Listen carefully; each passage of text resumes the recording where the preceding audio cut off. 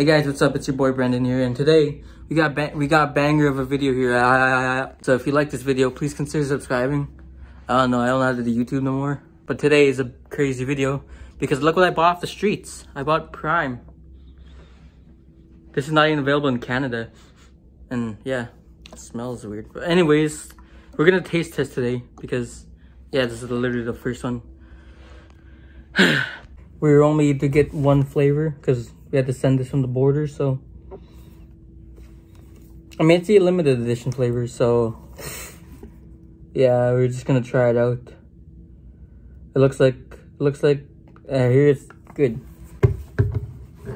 We'll be the judge of that. This is so weird. So, it smells like Smells like a cleaner. Best way I can describe it.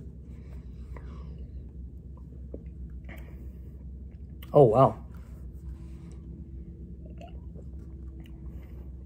I can't rate the other flavors because I don't have any, but obviously, uh, oh, stupid me. This is the best flavor so far.